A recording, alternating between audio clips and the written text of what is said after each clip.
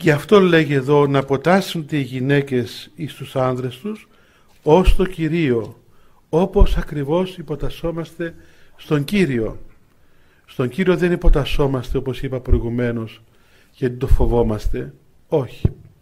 Δεν υποτασσόμαστε γιατί δεν μπορούμε να κάνουμε διαφορετικά. Ούτε υποτασσόμαστε γιατί θέλουμε τη βοήθεια του και τα λεφτά του και ξέρω εγώ. Εάν υποτάσσουμε γιατί θέλω να μου χορηγεί ας πούμε τα έξοδά μου, δεν είναι καλή υποταγή αυτή. Υποτάσσομαι γιατί τον αγαπώ. Υποτάσσομαι στον Χριστό γιατί αγαπώ τον Χριστό. Και γιατί η υποταγή μου είναι το καλώδιο το οποίο με ενώνει μαζί του και μου δίδει ζωή αιώνιον και μου δίδει ζωή και ελευθερία και βρίσκω τον εαυτό μου ενωνόμενος με τον Χριστό. Έτσι υποτασσόμενος στον αδελφό μου είτε λέγεται σύζυγός μου είτε λέγεται οποιοδήποτε άνθρωπος ευρίσκω εις αυτήν την υποταγή με αγάπη την ύπαρξή μου, το πρόσωπό μου, τον εαυτό μου, την ελευθερία μου, την πληρότητα του εαυτού μου. Και λέγει στο στίχο 23 ότι ο ανήρεστη κεφαλή της γυναικός ως και ο Χριστός κεφαλή της Εκκλησίας και αυτός εστί σωτήρ του σώματος. Γιατί λέγει ο Χριστός είναι ότι γιατί ο άνδρας είναι κεφαλή της γυναίκας αρχηγός ας το πούμε της γυναίκας όπως και ο Χριστός είναι αρχηγός της Εκκλησίας και ο Χριστός είναι σωτήρας του σώματος της Εκκλησίας. Θυμάστε από την γένεση τη δημιουργία του ανθρώπου ότι ο Θεός έπλασε από την πλευρά του την γυναίκα την πλευρά του ανδρός και ακριβώς από την πλευρά του για να δείξει ότι είναι δίπλα του, είναι ίση με Αυτόν. Και διέπλασε αυτήν την ύπαρξη της γυναικός λαμβάνοντας από τον άνδρα το, τα οστά και την σάρκα. Γι' αυτό ο, ο Αδάμ είπε αυτή είναι ε, σάρξ εκ της σαρκός μου και οστούν εκ των οστέων μου για να είναι πραγματικά ενωμένος μαζί της και να υπάρχει αυτή η έρξης και αυτή η συμπλήρωση του ενός με τον άλλο έτσι να συμπληρώνει ένας τον άλλο και να θεωρείται ένας άνθρωπος ένας άνθρωπος αυτοί οι δύο ο άνδρας και η γυναίκα μέσα στο μυστήριο ακριβώς του γάμου αυτό είναι που επιτελούν αυτήν την ένωση αυτών των δύο προσώπων εις τον έναν άνθρωπο εις τον έναν άνθρωπο όπως τον έπλασε ο Θεός. Γιατί αυτός ο ένας άνθρωπος έγινε άνδρας, έγινε γυναίκα αλλά μέσα στο μυστήριο του γάμου ξαναγίνονται ένας άνθρωπος. Όπως το λέμε εμείς ωραία. Στην Κύπρο το λένε και αλλού βέβαια. Ο άνδρας και η γυναίκα γίνεται ανδρόγυνων. Έτσι έχουμε ένα, μια νέα ύπαρξη πλέον. Μια νέα ύπαρξη ένα νέο άνθρωπο το ανδρόγυνο που είναι αποτελείται από τον άνδρα και από τη γυναίκα και αποτελούν έναν άνθρωπο αυτοί οι δυο. Δεν αποτελούν δύο ανθρώπους δύο ανθρώπους αλλά έναν άνθρωπο στην, στην ουσία ας πούμε. Ο άνδρας λοιπόν είναι ο κεφαλή της γυναίκας όχι για να κάνει ό,τι θέλει ή για να καταδυναστεύει τη γυναίκα όπως είπαμε προηγουμένως αλλά πώς λέγει εδώ όπως και ο Χριστός είναι κεφαλή της Εκκλησίας και ο Χριστός είναι κεφαλή της Εκκλησίας. Όχι για να καταδυναστεύει την Εκκλησία και η Εκκλησία είμαστε εμείς όλοι οι άνθρωποι αλλά για να σώσει την Εκκλησία. Και αυτός εστί σωτήρ του σώματος. Και αυτός είναι ο σωτήρας του σώματος. Και πως έσωσε την Εκκλησία ο Χριστός; Θυσιαζόμενος για την Εκκλησία. Έσωσε την Εκκλησία όλους εμάς, όλον τον κόσμο που είναι τα μέλη της Εκκλησίας σταυρούμενος και ανιστάμενος έσωσε την Εκκλησία. Έπαθε υπέρ της Εκκλησίας υπέρ όλου του κόσμου. Έδωσε τον εαυτόν του εθυσιάστηκε, εσταυρώθηκε για την Εκκλησία. Γι' αυτό και είναι κεφαλή της Εκκλησίας. Και το έργο της κεφαλής είναι να σώσει και να θυσιαστεί υπέρ της Εκκλησίας. Άρα και ο άνδρας κεφαλή της γυναικός είναι ουσιαστικά για να διακονήσει και να σώσει και να θυσιαστεί και να αποθάνει εάν χρειαστεί για την, εκκλησία, για την γυναίκα του και για την οικογένειά του. Έτσι λέγει στο στίχο 24 όπως η Εκκλησία αποτάσσεται στο Χριστό έτσι και οι γυναίκες της ιδής ανδράς είναι παντή. Γι' αυτόν τον λόγο όπως ακριβώς η Εκκλησία είναι ενωμένη με τον Χριστό και είναι ενωμένη γιατί ο Χριστός εθυσιάστηκε για αυτήν και γιατί ο Χριστός αγαπά την Εκκλησία και ο Χριστός είναι τα πάντα για την Εκκλησία και καλύπτει όλες τις ανάγκες της Εκκλησίας έτσι και οι γυναίκες με τους άνδρες τους εν παντή σε όλα. Εννοείται βέβαια ότι όλα αυτά εν Χριστώ. Εννοείται ότι όλα αυτά γίνονται Χριστό. Γιατί; Γιατί αν δεν είναι ο Χριστός στη μέση τότε τα πράγματα αλλάζουν. Αν δεν είναι ο Χριστός στη μέση τότε δεν μπορεί η γυναίκα να υποταγεί στον άνδρα εν παντή. Εάν ο άνδρας ζητήσει κάτι το οποίο παραβαίνει είναι παράβαση του νόμου του Θεού δεν μπορεί να υποταγεί εκεί. Δεν είναι υποχρεωμένη η γυναίκα να υποταχθεί σε κάτι που ο άνδρας ας πούμε της πει να αλλάξει την πίστη της παραδείγματος χάρη. Και είχαμε πολλά παραδείγματα τέτοια στους μάρτυρες όπου οι άνδρες δεν ήταν χριστιανοί. Και εκεί επίεζαν τις γυναίκες τους να αρνηθούν τον Χριστό. Και βέβαια δεν αρνήθηκαν τον Χριστό. Δεν υπετάγησαν επειδή τρόπον να πρέπει να υποτάσσονται στους άνδρες. Υποτάσσονται εκεί όπου τα πράγματα είναι εν Χριστώ εκεί που δεν είναι εν Χριστώ τα πράγματα αλλάζουν αλλά και οι άνδρες λέγει στο στίχο 25 αγαπάτε τα γυναίκα σε αυτόν καθώς και ο Χριστός ηγάπησε την Εκκλησία και αυτόν παρέδωκε υπέρ αυτής βλέπετε και οι άνδρες δεν αγαπάτε τις γυναίκες τις δικές σας γυναίκες όπως ο Χριστός αγάπησε την Εκκλησία και απέθανε για την Εκκλησία εθυσιάστηκε για την Εκκλησία δεν αγάπησε την Εκκλησία για να απολαμβάνει υπηρεσία από την Εκκλησία για να παίρνει κάτι από την Εκκλησία. Όχι. Αγάπησε την Εκκλησία και απέθανε για την Εκκλησία. Για ποιο λόγο; Ώστε αυτήν την Εκκλησία να την αγιάσει. Καθαρίσα στο λουτρό του ύδατος εν ρήματι να την αγιάσει και να την καθαρίσει με το Άγιο Βάπτισμα. Διότι η Εκκλησία πριν το Σταυρό του Χριστού και πριν την Πεντηκοστή εμείς όλοι δηλαδή είμαστε εχθροί του Θεού. Ήμασταν εθνικοί, ήμασταν ειδωλολάτρες δεν ξέραμε τον Θεό δεν τον αγαπούσαμε, δεν τον θέλαμε.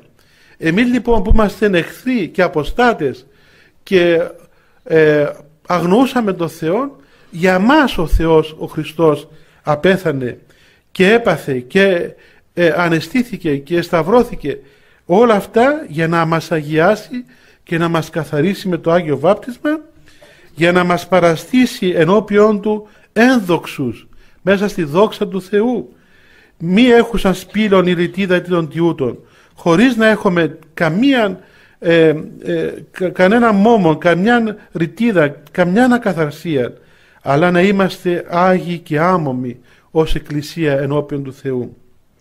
Ούτως οφείλουν οι άνδρες αγαπάντας σε αυτόν γυναίκας ως τα εαυτόν σώματα.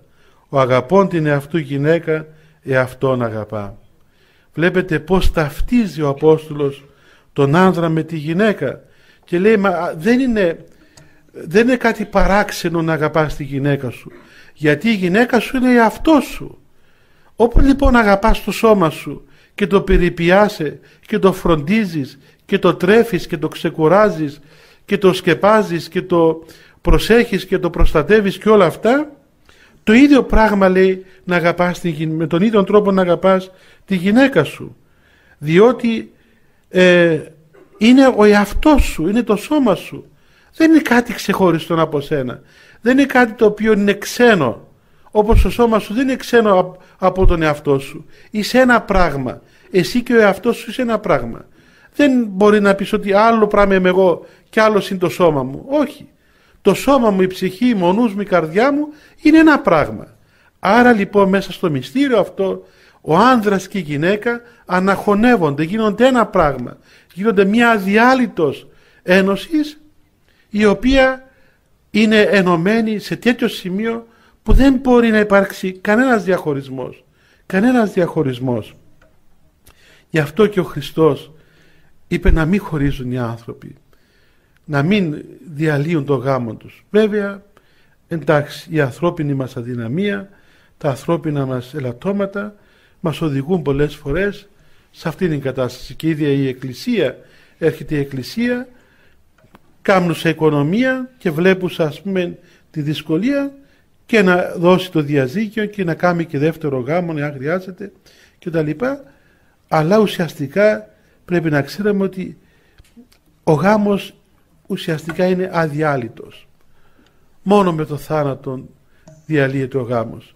Δεν διαλύεται ως μυστήριο βέβαια κατ' οικονομία η Εκκλησία βλέπουσα την ασθένεια των ανθρώπων και τα γεγονότα και πολλά άλλα πράγματα η ίδια η Εκκλησία δίδει σήμερα και πάντοτε και παλαιότερα αυτήν την ευλογία της διαλύσεως του γάμου όμως κανονικά θεωρητικά πρέπει ο άνθρωπος να αισθάνεται τόσο ενωμένος με τον άλλο ώστε όπως η ψυχή μας με το σώμα μας δεν μπορεί να χωριστεί μόνο άμα πεθάνουμε χωρίζει η ψυχή από το σώμα έτσι και ο άνδρας από τη γυναίκα μέσα στη συζυγία πρέπει να έχουν τέτοια ένωση που να μην χωρίζει να μην ξεχωρίζει με τίποτα απολύτως Ούτως ο φίλος είναι άνδρας αγαπάντα σε αυτό γυναίκα ώστε αυτόν σώματα. Ο αγαπών την εαυτού γυναίκα, εαυτόν αγαπά. Αυτός που αγαπά τη γυναίκα του, αγαπά τον εαυτόν του τον ίδιο. Ουδή γάρ ποτέ την εαυτού σάρκα εμίσησε, αλλά εκτρέφει και θάλπει αυτήν. Βλέπετε, κανένας λέει ποτέ δεν εμίσησε το σώμα του, αλλά το εκτρέφει και το περιθάλπει, όπως και ο Κύριος στην Εκκλησία Βλέπετε πόσο σημαντικό πράγμα είναι. Συνέχεια ο Παύλος τα ανάγει αυτά όλα στο Χριστό και στην Εκκλησία. Σου λέει κοίταξε κάτι. Αυτά τα πράγματα δεν είναι ανθρώπινα. Δεν είναι, δεν είναι φτηνά πράγματα. Δεν είναι ξέρω εγώ ένα, ένα κοινωνικό συμβόλαιο ο γάμος, ένα νομικό συμβόλαιο. Έχει μια άλλη διάσταση. Έχει την διάσταση του Χριστού και της Εκκλησίας. Γι' αυτό θα πει πιο κάτω ότι αυτό το μυστήριο είναι μέγα εις Χριστόν και στην Εκκλησία. Τότε είναι μέγα, όταν είναι εις Χριστόν και στην Εκκλησία.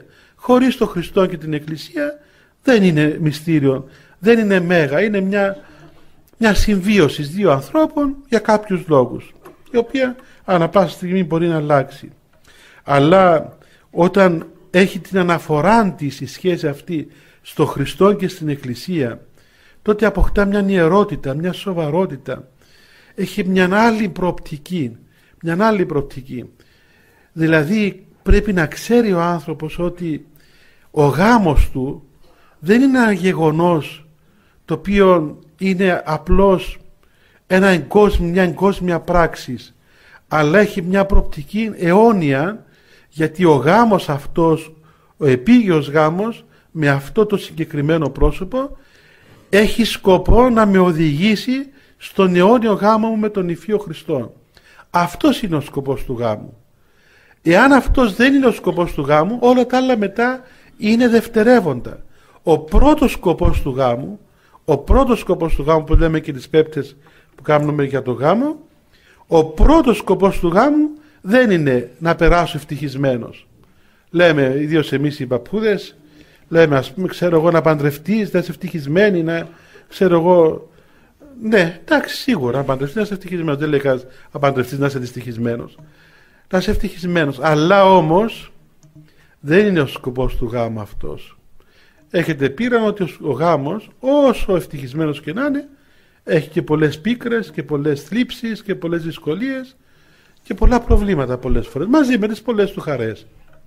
Άρα δεν σημαίνει ότι όταν στο γάμο έχω θλίψεις απέτυχε ο γάμος μου ή ας πούμε λένε να παντρευτείς να κάνεις παιδιά ο σκοπός του γάμου να κάνεις παιδιά μα αν ο σκοπός του γάμου είναι να κάνεις παιδιά αυτοί που δεν έκαναν παιδιά τι σημαίνει ότι δεν επέτυχαν το σκοπό του γάμου τους; Ο γάμος τους δεν είναι επιτυχής ή κάποιος άλλος άνθρωπος που δεν παντρεύτηκε εγώ δεν παντρεύτηκα σημαίνει ότι δεν επέτυχα το σκοπό μου ως άνθρωπος; Αυτά είναι δευτερεύοντα πράγματα. Κάνεις παιδιά ή δεν κάνεις; Υπάρχουν άνθρωποι που τόσο πολύ τα έχουν εξυψώσει αυτά τα πράγματα ε, που είναι δευτερεύοντα σε πρωτεύοντα ώστε Α πούμε, παντρεύτηκαν, δεν κάνουν παιδιά και σκέφτονται να χωρίσουν και δεν κάνουν παιδιά. Αισθάνονται δυστυχισμένοι. Ή ξέρω εγώ, άλλος παντρεύεται, έχει δυσκολίες και λέει: Τι το θέλω τέτοιο γάμο, γιατί να περνώ δύσκολα; Εγώ παντρεύτηκα, είμαι ευτυχισμένος. Και μετά ε, αυτή η ευδαιμονιστική αντίληψη περί γάμου, τι κάνει μες στο γάμο; Σου λέει το εξής. Κοίταξε, εντάξει, παντρευτήκαμε, παντρευτήκαμε, αλλά ο καθένας μας θα κάνει τι που να το κάνει ευτυχισμένο. Άρα λοιπόν, εγώ τα θέλω να πηγαίνω με τους φίλους μου, πρέπει να πηγαίνω, αφού έτσι είμαι ευτυχισμένος. Εσύ όταν θέλεις να πηγαίνεις με τις φίλες σου, να πηγαίνεις αφού έτσι είσαι ευτυχισμένη. Και όταν θα έρθει να χωρίσουμε, να χωρίσουμε για να είμαστε και οι δύο ευτυχισμένοι. Γιατί όποιοι κάνουν τέτοια πράγματα, εκεί θα καταλήξουν. Και να το ξέρετε αυτό το πράγμα. Έτσι. Όταν ο άντρας πάει μόνος του και η γυναίκα πάει μόνη της, στο διαζύγιο θα καταλήξουν. Και αυτό το ξέρω, σας το λέω από την πείρα μου, όχι ως έγαμος που δεν είμαι, αλλά που παρακολουθώ τα των εταίρων ναυάγια. Όποιος γάμος έχει τέτοια φαινόμενα να βγαίνει η γυναίκα μόνη της και να βγαίνει ο άντρας μόνος του, θα διαλυθεί κάποια ώρα, θα βουλιάξει αυτόν το καράβι, εάν δεν συνέρθουν να καταλάβουν ότι δεν μπορείς να υπάρξεις μόνος σου μέσα στο γάμο. Δεν γίνεται λοιπόν να υπάρξεις μόνος σου μέσα στο γάμο. Αυτά λοιπόν όλα έχουν τη σωστή θέση και η ευτυχία και η παιδοποιία και ο πλούτος και ξέρω εγώ τα όλα τα πράγματα ως δευτερεύοντα. Εάν αυτά πάνε στην πρώτη θέση ο γάμος θα κλειδονιστεί γιατί δεν θα πετύχει. Μπορεί να μην αποκτήσεις παιδιά στο γάμο σου. Μπορεί να συναντήσεις αρρώσκες, μπορεί να αρρωστήσει ο άντρας σου, η γυναίκα σου, να έχεις προβλήματα. Τι σημαίνει, απέτυχε ο γάμος σου, εάν ήταν ευδαιμονιστική η αντίληψη του γάμου, ναι, απέτυχε. Γιατί έτσι ενόμιζες. Εάν όμως έβαλες σωστά το γάμο από την αρχή, εάν κατάλαβες ότι ο γάμος σου γίνεται με πρώτο σκοπό τη Βασιλεία του Θεού, ώστε εσύ μαζί με αυτόν τον άνθρωπο που έχεις δίπλα σου, που στέκεσαι μπροστά στο θυσιαστήριο ενώπιον του Θεού και ανθρώπων, παίρνεις αυτόν τον άνθρωπο για να πορευθείτε στη Βασιλεία του Θεού μαζί τότε ό,τι και αν παρουσιάσει αυτός ο άνθρωπος όσες δυσκολίες και αν παρουσιάσει όσα προβλήματα και αν παρουσιάσει βαδίζεις τον δρόμο σου με υπομονή αποβλέποντας στη Βασιλεία του Θεού Πόσες φορές είδαμε περιπτώσεις ανθρώπων που γιατί αρρώστησε ο ένας εκ των δύο χώρισαν. Δεν μπορώ να το βαστάξω. Εντάξει. Ανθρώπινο είναι αλλά ε, έπρεπε να ξέρεις που την αρχή που παντρεύτηκες ότι ο σκοπός σου δεν ήταν να περάσεις καλά αλλά να μπεις στη Βασιλεία του Θεού. Όπως και το πολυσυζητούμενο θέμα των ημερών για τις εκτρώσεις. Έτσι γιατί κάνω παιδιά; Γιατί κάνω παιδιά για να με κάνουν χαρούμενον εμένα και να με κάνουν ευτυχισμένο εμένα; Ε, εντάξει. Αν είναι τούτος ο σκοπός που κάνεις παιδιά τότε ένα άρρωστο μωρό ναι, θα σκεφτείς να το σκοτώσεις. Τι ήρθε τον το μωρό, να με κάνει εμένα δυστυχισμένη, επειδή δεν γίνω άρρωστο. Να το ξαποστείλω τώρα που είναι έμβριο και δεν το βλέπω, παρόλο που, που ε, και επιστημονικά και από πάσα άποψη είναι τέλειος άνθρωπος, αλλά γιατί να με κάνει δυστυχισμένη. Χώρια που λέμε εγκρίμαν το μωρό να ζήσει δυστυχισμένο. Λες και σκεφτούμαστε το μωρό. Και δεν είμαστε ειλικρινείς τουλάχιστον να πούμε ότι εγώ δεν μπορώ να έχω ένα μωρό άρρωστο και λέμε ότι το μωρό ας πούμε, να μένει δυστυχισμένο. Ε, τότε κατά την ίδια λογική όλα τα μωρά του θα σκοτώσουμε. Τι να τα αφήνουμε, ας πούμε. Καλύτερα είναι να τα γεννήσουμε, να τα βαπτίσουμε και να τα σκοτώσουμε. Θα είναι και πιο καλά έτσι, ας πούμε, παρά να σκοτώσεις και πριν. Και αθώα και ανυπεράσπιστα. Γιατί, διότι ξεκινάς με λαθασμένες προποθέσει. Εάν κάνεις μωρά για να είσαι χαρούμενος, αν κάνεις μωρά για να εσύ να αισθάνεσαι ευτυχισμένος και ξέρω εγώ υπερήφανος για τα μωρά σου, ναι. Όταν το μωρό σου είναι άρρωστο, θα σκεφτεί να το σκοτώσεις. Ή αργότερα που το μωρό θα μεγαλώσει και θα κάνει κάτι που εσύ δεν θέλεις να κάνει, θα αντιδράσεις και θα φωνάζεις και θα κάνεις και θα φτιάσεις. Εγώ δεν θέλω να κάνω αυτό το πράγμα. Ναι, μα για ποιο σκοπό να έκαμες στο μωρό του το για να κάνεις εκείνο που εσύ θέλεις ή για να γίνει πραγματικά άνθρωπος ελεύθερος, όριμος και να επιλέξει ο ίδιος τι θέλει. η λαθασμένη αφετηρία φέρνει και λαθασμένα αποτελέσματα. Η, σωστή αφετηρία, αν βάλει τα πράγματα από την αρχή σωστά και καταλάβεις για ποιο λόγο παντρεύεσαι. Για ποιο λόγο παντρεύεσαι. Παντρεύεσαι να βαδίσεις με αυτόν τον άνθρωπο στη Βασιλεία του Θεού. Σημαίνει ότι ό,τι παρουσιάσει αυτός ο άνθρωπος, αρρώσκιες, προβλήματα, ξέρω εγώ, δυσκολίες, θα τον πάρεις και θα βαδίσεις μαζί και θα αξιοποιήσεις τις δυσκολίες σου για τη Βασιλεία του Θεού. Γι' αυτό ψάλλουμε στο γάμο Άγιοι μάρτυρες, οι καλώς αθλήσαντες και στεφανοθέντες. Γιατί τα ψάλλουμε αυτά; Και κάνουν το κύκλο από τραπέζι για να κάνουμε σιό και να μας ρίχνουν ρίζα; Γιατί είναι η πορεία αυτών των ανθρώπων, η μαρτυρική πορεία στη Βασιλεία του Θεού. Κύκλο του θυσιαστηρίου, του Ευαγγελίου. Γιατί ο Ιεράς παίρνει το Ευαγγέλιο και μας πιάνει από το χέρι και πάμε. Για να μας δείξει ότι ξεκινά μια πορεία η οποία σκοπό έχει να μας οδηγήσει στη Βασιλεία του Θεού με οδηγόν το Ευαγγέλιο και το Χριστό και με φρόνημα μαρτυρικών των Αγίων Μαρτύρων. Και δεν μπορείς να χωρίσεις γιατί τώρα σου φάρει ξέρω εγώ οτιδήποτε ο άντρας σου ή η γυναίκα σου και α, τη χωρίζεις. Και κατά τον ίδιο τρόπο όταν γίνεσαι γονιός πρέπει να καταλάβεις ότι πρέπει να είσαι σοβαρός και να έχεις ευθύνη όπως και αν έρθει το μωρό σου. Άρρωστο, ε, καχεκτικό, δυνατό, αδύνατο, ό,τι και να είναι, θα το πάρεις, θα το γεννήσεις και θα βαδίσεις τον δρόμο αυτό για τη σωτηρία τη δική σου, διακονώντας την ανατροφή αυτού του παιδιού και διακονώντας και τη σωτηρία του και τη δική του και τη δική σου. Και έτσι όταν θα σου έρθει ένα άρρωστο μωρό δεν θα σκεφτείς να το σκοτώσεις αλλά θα δεις πως θα αξιοποιήσεις πνευματικά αυτή τη δυσκολία η οποία παρουσιάστηκε σε σένα. Σίγουρα η δυσκολία δυσκολία. Κανένας δεν λέει ότι είναι εύκολα πράγματα αυτά. Κανένας δεν λέει ότι είναι εύκολο πράγμα να ζεις με, ένα, με έναν δύσκολο άνθρωπο ή να έχεις έναν άρρωστο μωρό. Ασφαλώς και δεν είναι εύκολο πράγμα. Αλλά και ποιος είπε ότι στη ζωή μας όλα είναι εύκολα ή όλα πρέπει να είναι εύκολα; Όσο και να θελήσουμε να τα κάνουμε δύσκολα, ε, να τα κάνουμε εύκολα, θα γίνονται δύσκολα. Έλεγε και ο, ο αείμνηστος ο γέροντας μας ο Ιωσήφ ο ησυχαστής κάτι που ταιριάζει για τους ανυπόταχτους λέει ο εμεί υποτασσόμενος ενή γέροντι εν τέλει υποτάσσεται πολλής και στο τέλος ανυπόταχτος μένει. Δηλαδή δεν θέλει να κάνεις υπακούση σε ένα γέροντα μιλάει για τους μοναχούς και φεύγεις. Και λες εγώ να φύγω να πάω να κάνω κάτι άλλο στο τέλος υποτάσσεσαι σε πολλούς και παραμένεις και ανυπόταχτος.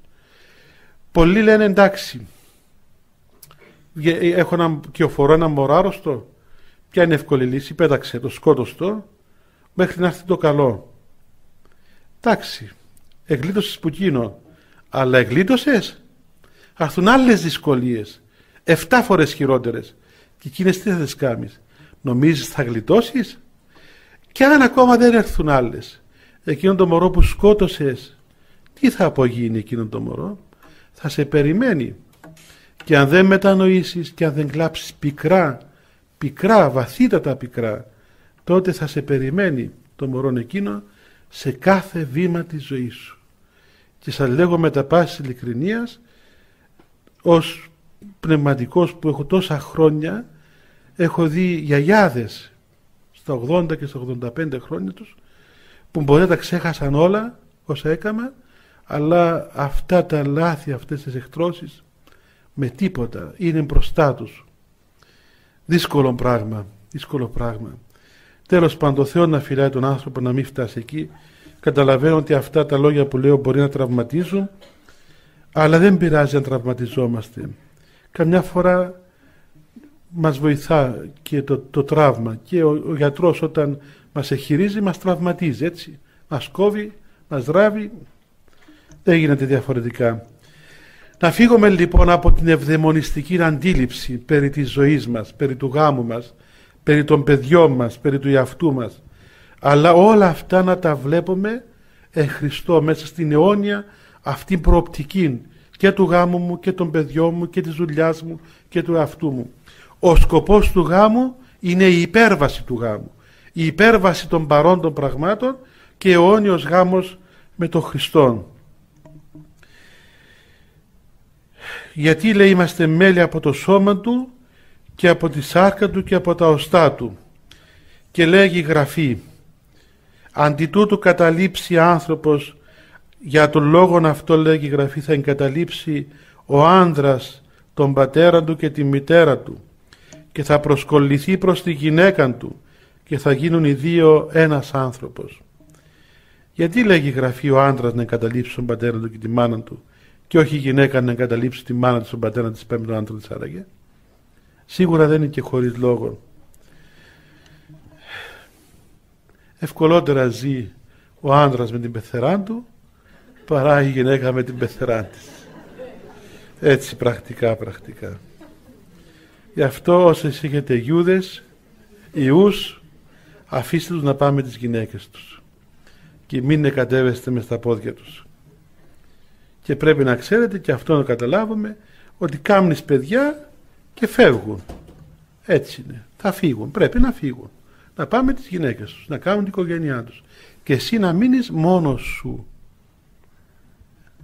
Να μείνεις μόνος σου. Μα έμεινα όλη μέρα σπίτι μόνη μου. Ε, τι ήθελες δηλαδή να, να, γίνει; Έτσι έπρεπε τόσα χρόνια να εργαστείς πνευματικά να υπερβείς τη μοναξιά σου.